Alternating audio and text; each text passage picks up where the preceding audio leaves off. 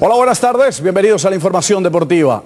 Ilusiona el Medellín en el inicio del campeonato con dos triunfos y sobre todo con una victoria clara, categórica y contundente en la noche de ayer domingo. Ante el Cali fueron más los aciertos del equipo rojo que las deficiencias, que aún todavía tiene, pero que el técnico Guillermo Berrío puede ratificar sobre buenas victorias. Liderato parcial de los rojos, que puede no decir mucho, pero que rápidamente borran la pobre campaña del semestre anterior donde estuvo en el sótano. Ilusiona pues el rojo por su propuesta futbolística. Estadio Atanasio Girardón, muy buen partido el Deportivo Independiente Medellín. Aquí en minuto 5 el Champeta Velázquez. Iván, ya muy tempranito, apenas 5 minutos se demoró para convertir el primer gol en el debut con el Deportivo Independiente Medellín. Mire cómo primera levanta la pelota, nada que hacer Leandro Castellanos, cierra 1 por 0 a favor del Deportivo Independiente Medellín. Reaccionaría Deportivo Cali, pero muy bien Brainer Castillo. Tarde de porteros ayer y de grandes goles. Atención, esta vuelve otra vez, insiste Pipe Pardo, la tuvo aquí y por encima.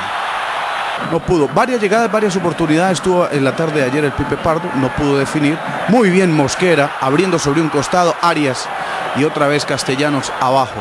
Dicen que 12 mil personas en el estadio Atanasio Girardot daba la sensación de que había más gente. Carbura, el Deportivo Cali, esta, arriba, ese Saramaya la venía devolviendo. El horizontal era el empate para el Deportivo Cali, pero carburaría de nuevo el Deportivo Independiente Medellín. Qué tarde la de Mosquera. Otra vez para Iván el Champeta Velázquez. Se fue desviada, no lo puede creer.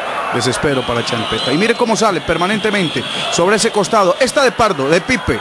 Ahora por el sector izquierdo se la devuelve el vertical. Estuvo negado para el gol ayer, pero de buena movilidad. Propone Mosquera, atención que se autohabilita Castrillón, minuto 42. Y el 2 por 0, claro, categórico y contundente. Y hasta el polvo de las piolas se vino al piso. 2 por 0, hasta ahí ganaba el Deportivo Independiente Medellín. Esta la tuvo el Champeta, la devolvió muy bien Leandro Castellanos. Y ya aquí, imágenes del segundo tiempo, otra vez Medellín, Mosquera, desviado. Muy buen partido de Luis Fernando Mosquera, que se convirtió en un jugador clave ayer en el Deportivo Independiente Medellín. De media distancia, venía buscando también el Deportivo Cali, salvando la pelota desde atrás. Breiner, balón que va quedando de nuevo para el Medellín por encima.